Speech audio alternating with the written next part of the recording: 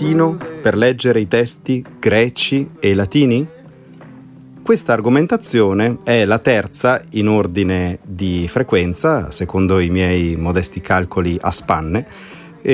argomentazione che viene impiegata dai colleghi e dalle colleghe che parlano dell'istruzione classica eh, a chi deve fare questa scelta o semplicemente quando ne parlano con la cittadinanza, sui, sulla stampa, sui media, eccetera. Secondo questa terza argomentazione, ehm, la finalità dello studio del greco e del latino sarebbe intrinseca, ovvero queste lingue verrebbero studiate per avere un accesso privilegiato alla materia letteraria, cioè al patrimonio letterario che ci è stato tramandato in lingua latina e in lingua greca. Ehm, a ben guardare però questa argomentazione è doppia,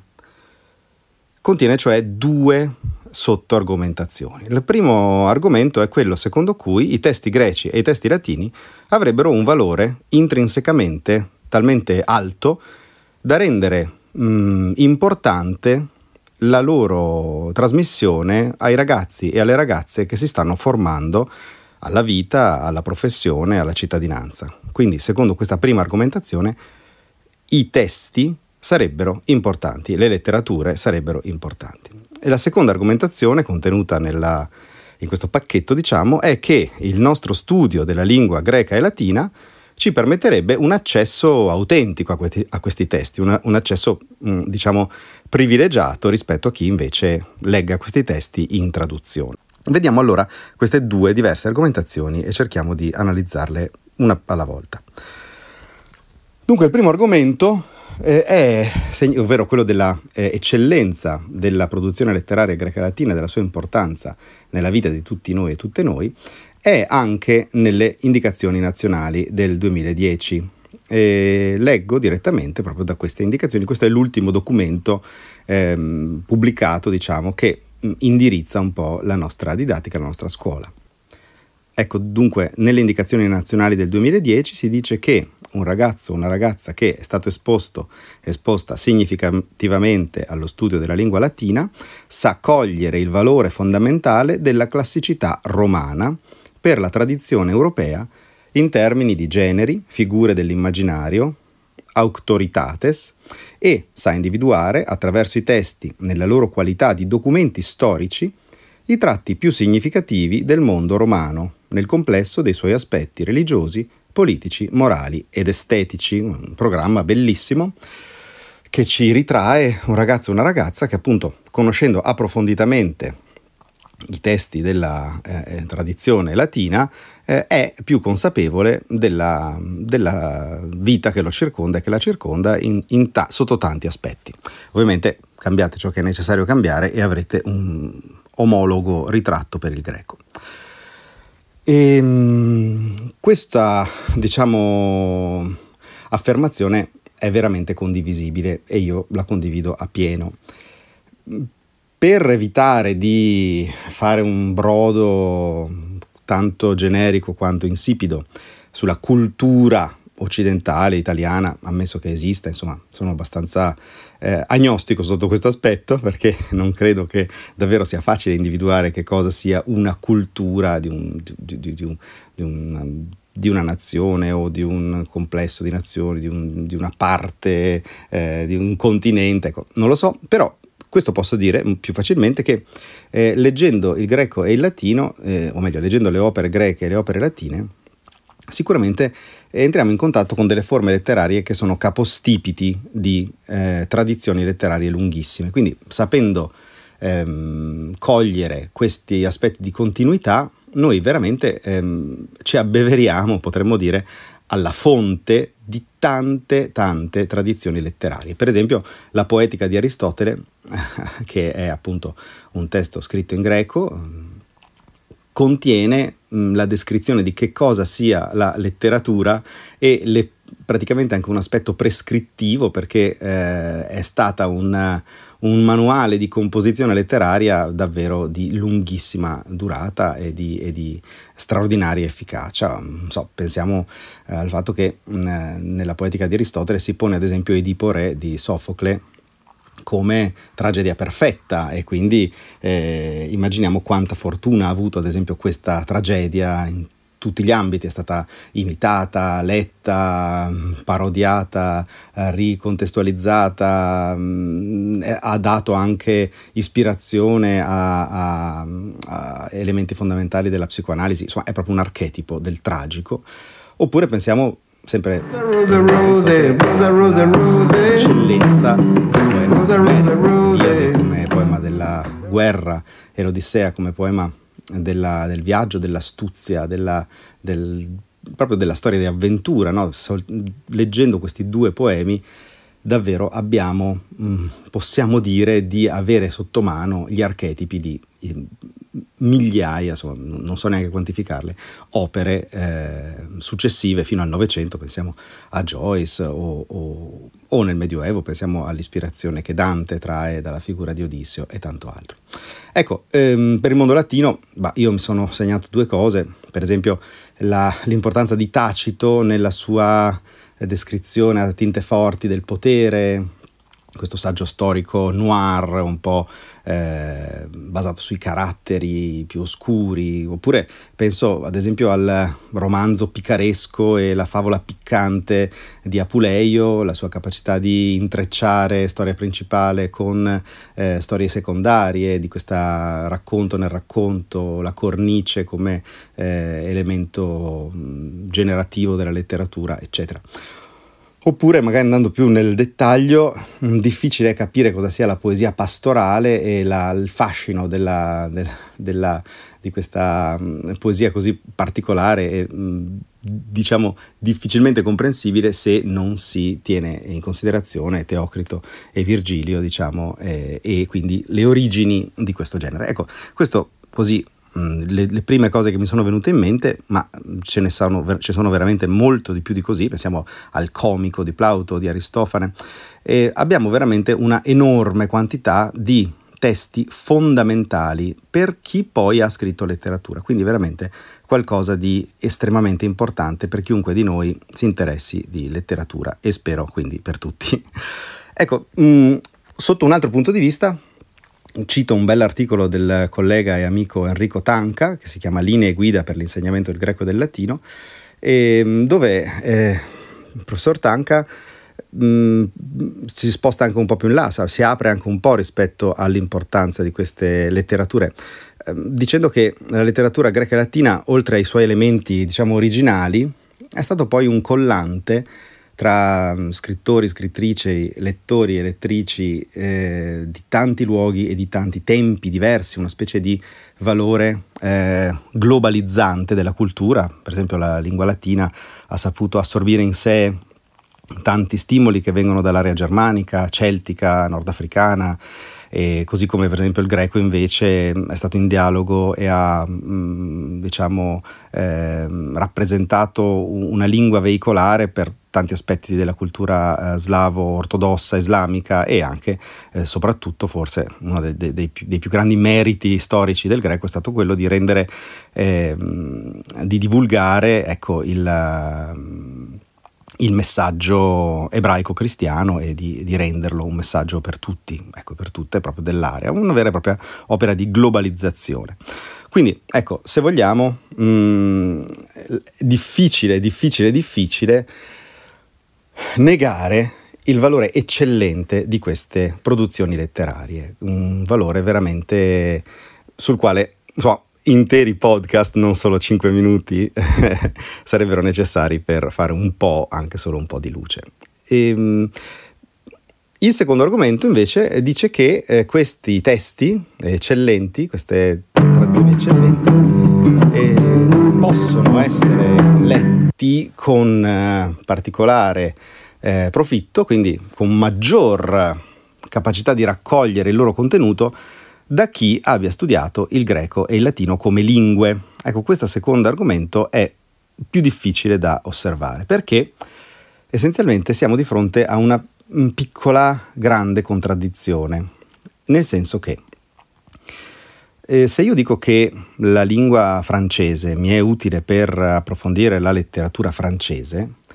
mh, mm, io ingenuamente mi pongo come, eh, così, come idea l'obiettivo di uno studioso, una studiosa che amando Proust voglia eh, leggerlo in originale per coglierne delle sfumature che nel eh, processo traduttivo sono andate perdute e quindi studi il francese, la lingua francese, in modo da poter accedere a Proust in originale quindi che si legga la recherche di Proust eh, in francese o lo stesso si può, si può, dire per un amante di letteratura tedesca che voglia leggere Brecht in lingua originale o voglia leggere La montagna incantata in lingua originale e quindi studi il tedesco per poter accedere in lingua originale alla montagna incantata. Questa è l'idea che ci si pone, che io mi pongo almeno quando penso a chi usa le sue competenze linguistiche per andare a fondo di una letteratura che ama. Nel mio piccolo io lo faccio per la lingua inglese, riesco a leggere in lingua originale quasi tutto quello che mi interessa e quindi ho la gioia di leggere anche solo Harry Potter o Percy Jackson in inglese, ma anche, non so, Cormac McCarthy o Dickens e senza dubbio mh, ho un livello di penetrazione della, in questa materia diciamo superiore a chi lo legga in lingua italiana. Di quanto superiore non so dire, perché poi mi confronto con amici e amiche che non sanno l'inglese bene e che leggono in italiano e hanno più o meno le stesse nozioni che ho io su questi testi, ma insomma qualcosina posso dire di eh, avere colto più di quello che hanno colto loro. Ecco. Tuttavia però, per eh, questo tipo di, mh, mm, di approccio diretto ai testi, quindi per una lettura integrale della letteratura che ci interessa, occorre una capacità di lettura della L2, diciamo della lingua straniera, mh, mm, particolarmente estesa, cioè la capacità di leggere un'opera o ampliare amplissime parti di quest'opera in quella lingua. Noi però facciamo uno, uno studio del latino e del greco eh, di un tipo che ehm, difficilmente mi sembra porti a questo tipo di capacità. Cioè lo studio della lingua greca e latina che viene proposto ai nostri studenti e alle nostre studentesse è un tipo di studio cosiddetto intensivo, cioè propone una lettura intensiva. Nel mondo anglosassone, per dire, si propone invece una lettura estensiva. Quindi c'è questa eh,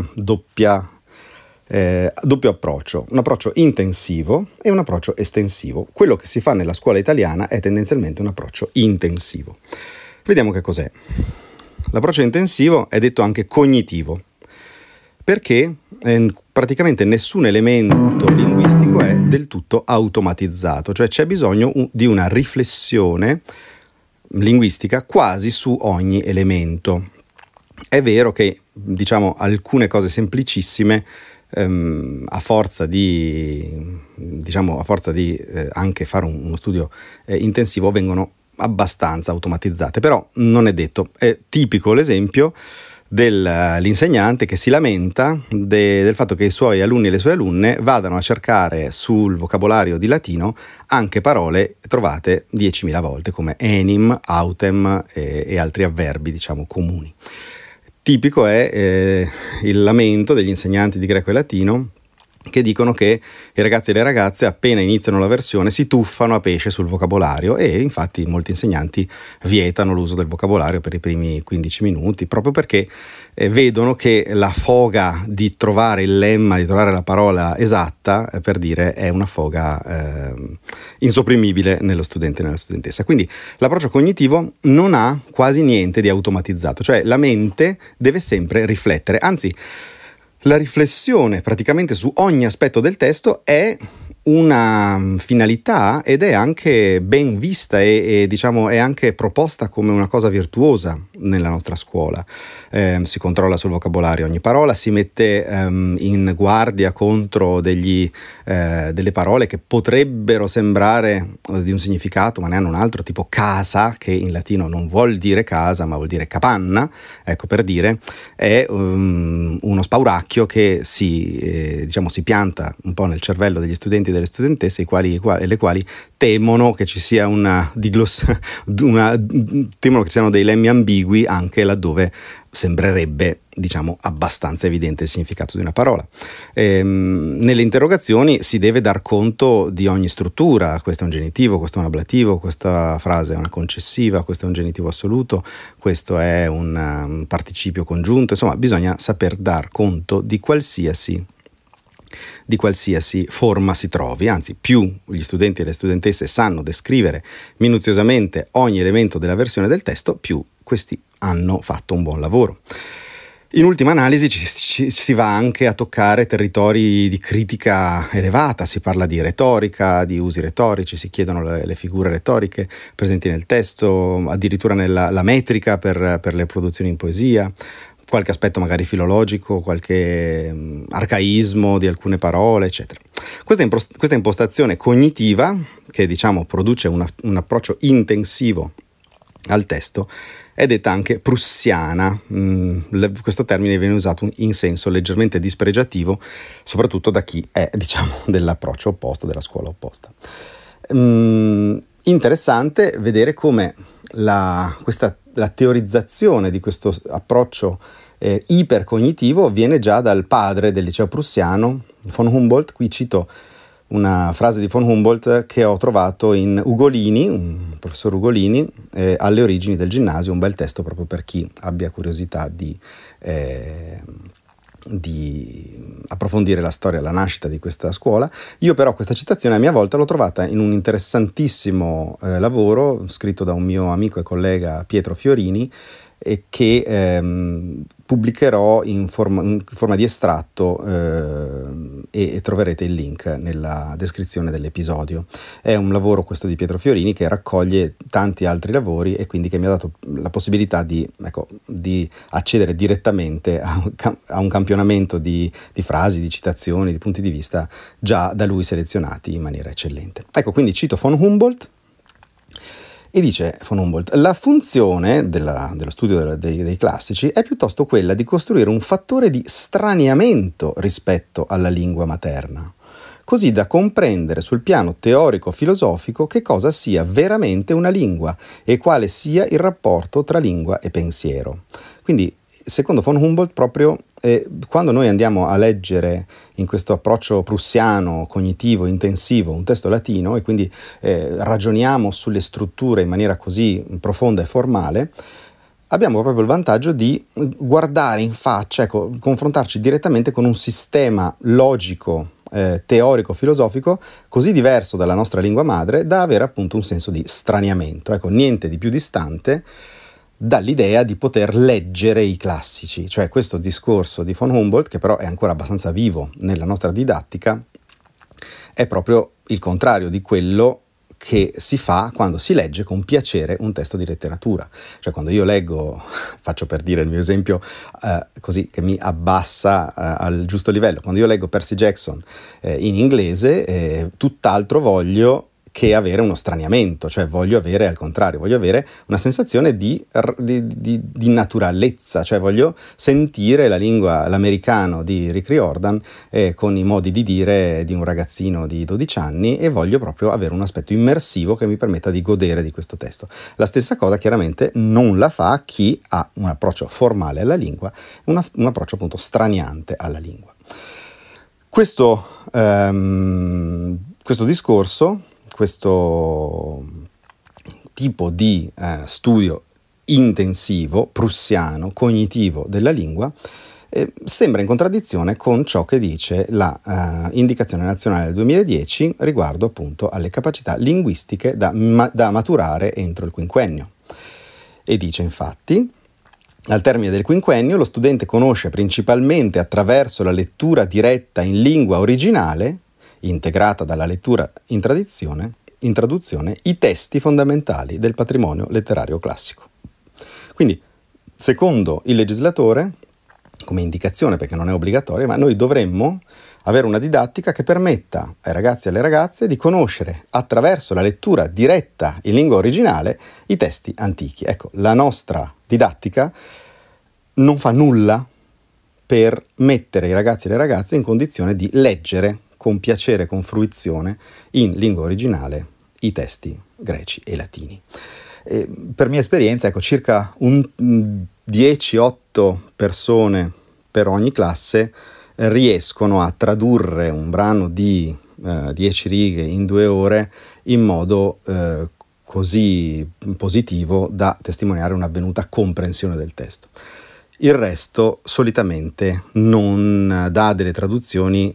se non delle rese meccaniche, parola per parola, eh, per lo più con cose trovate sul vocabolario in modo fortuito, rappezzate in qualche modo, eccetera.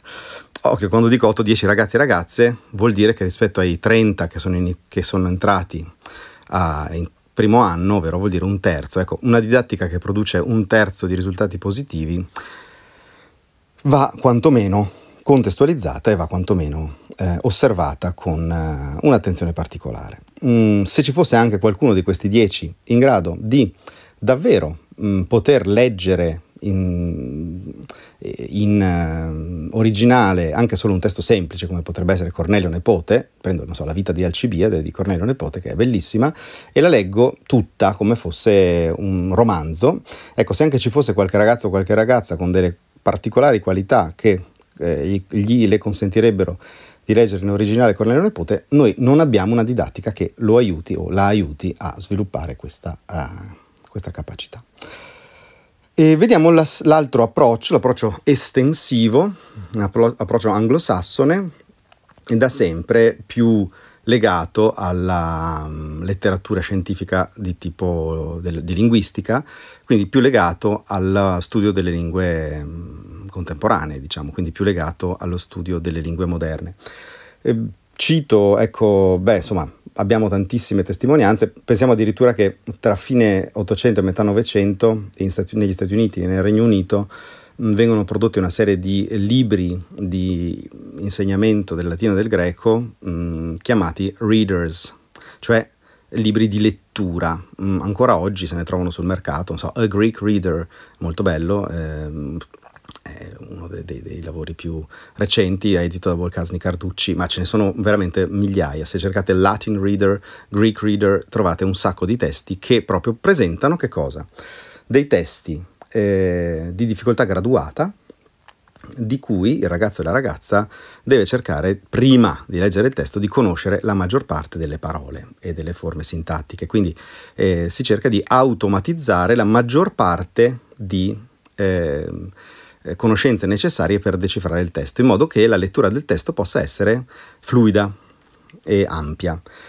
Oggi c'è un articolo bello su questo aspetto chiama, di Wegenhardt che si chiama Better, Re- Better, Reading Through Science, una migliore capacità di lettura attraverso la scienza, dove capacità di lettura si intende del latino e la scienza si intende la linguistica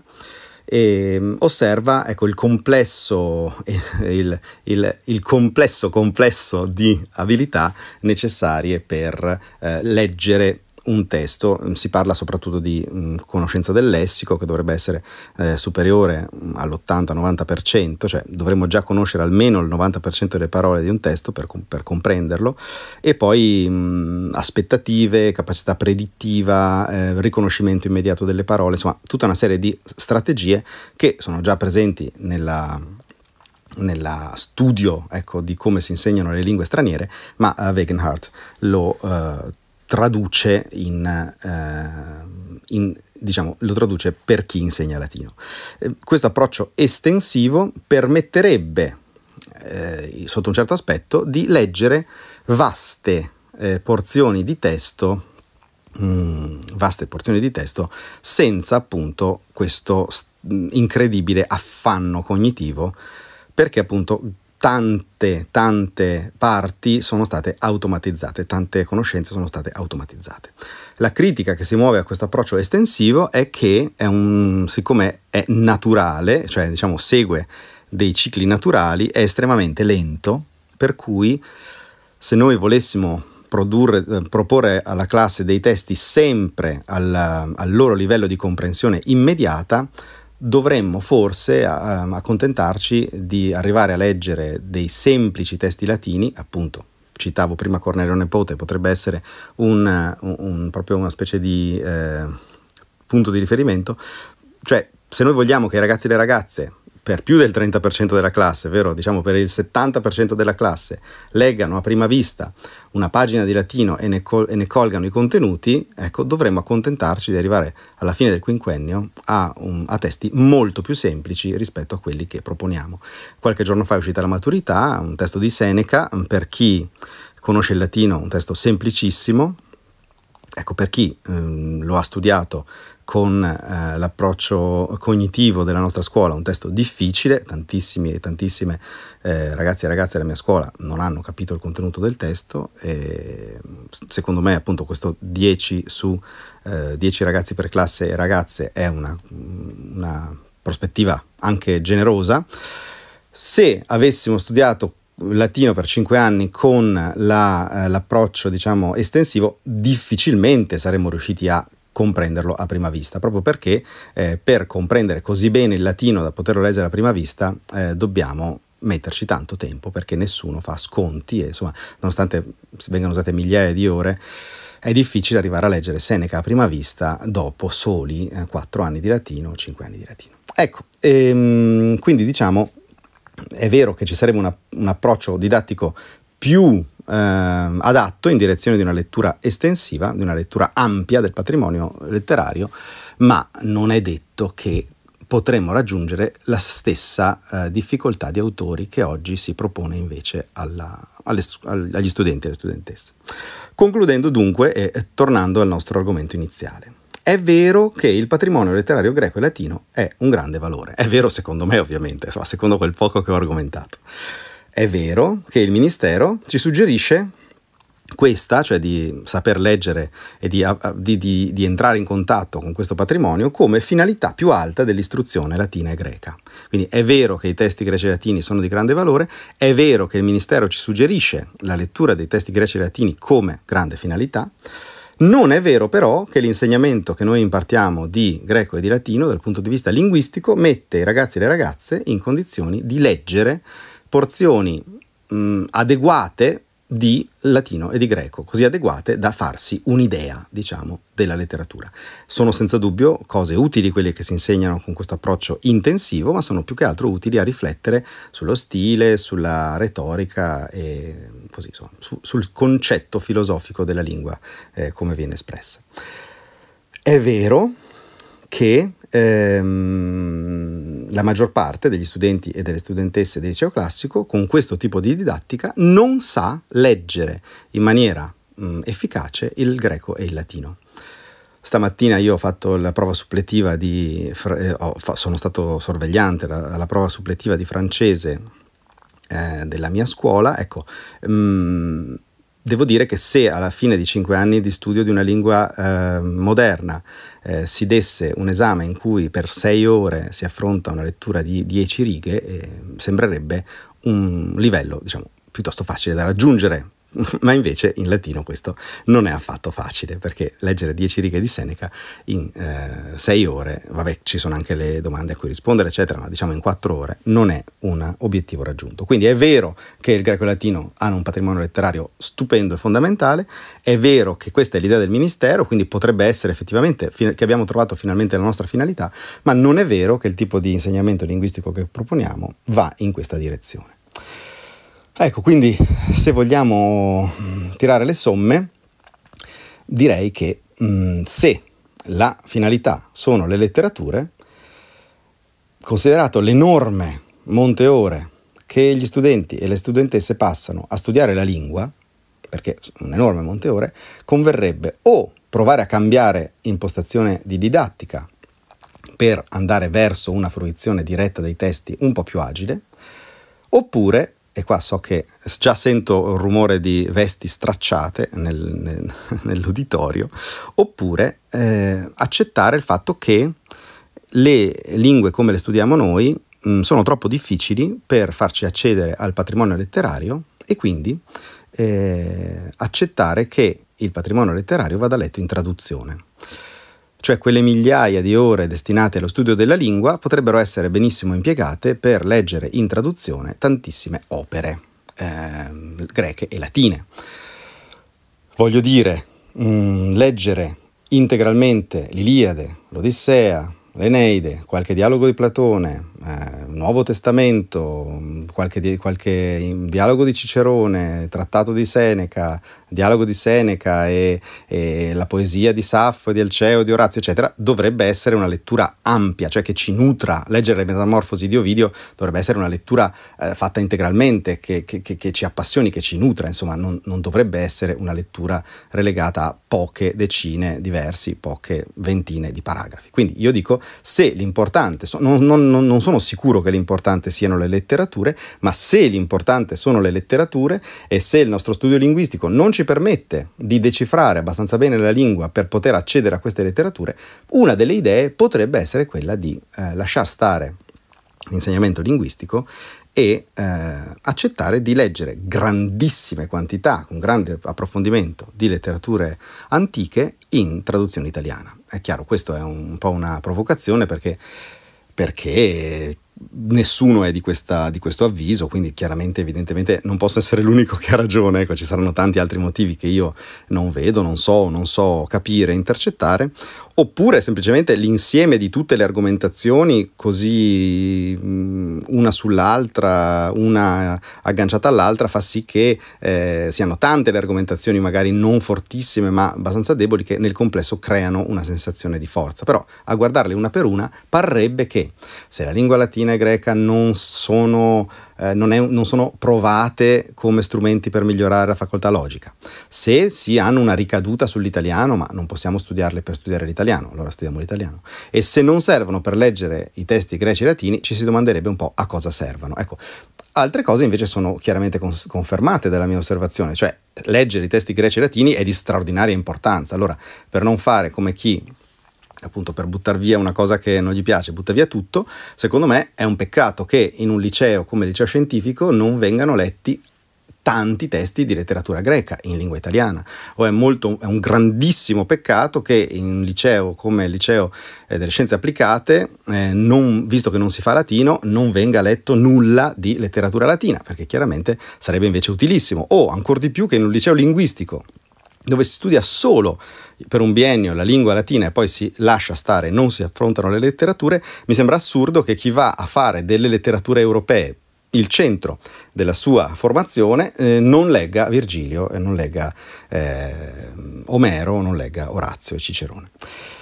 Ecco, per concludere con eh, un po' di veleno, eh, dico che questa mia osservazione è così impopolare che, mh, mm, a dire il vero, io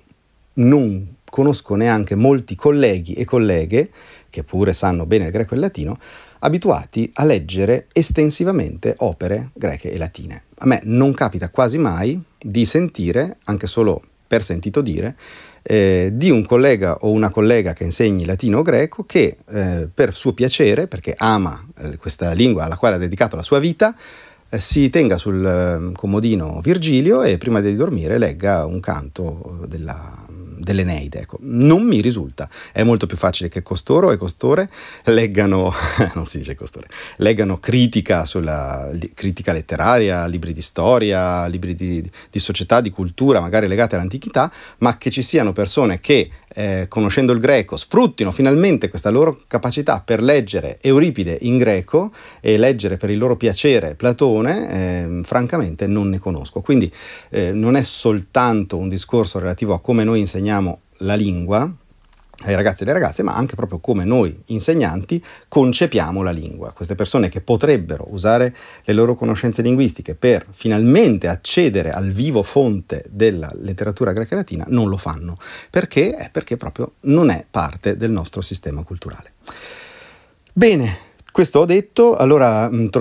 in, uh, trovate nella descrizione dell'episodio i link ai lavori che ho citato, quindi i lavori di Wegenhardt sulla sulla lettura mh, aggiornata, metodi aggiornati di lettura estensiva, il suscitato articolo di Enrico Tanca e l'estratto di Pietro Fiorini e, e una, un collegamento diciamo alla, alle indicazioni nazionali. Vi ringrazio, se questo podcast vi è piaciuto mm, magari mettete una valutazione positiva dove lo avete ascoltato o anche semplicemente parlatene a un amico, amica, collega eh, o se state facendo la scelta della scuola per i vostri figli e le vostre figlie eh, a un genitore, magari a, un compa- a, una genitrice e in questo modo potremmo anche eh, avere più persone e se avete qualche domanda, questione scrivetemi così eh, ampliamo il dibattito. Vi ringrazio e vi auguro una buona settimana. Alla volta prossima. Rosa, rosa, rose. Rosa, Rosa, Rose, un podcast di questioni sulle lingue classiche, preparato e raccontato da Alessandro Conti. Hey,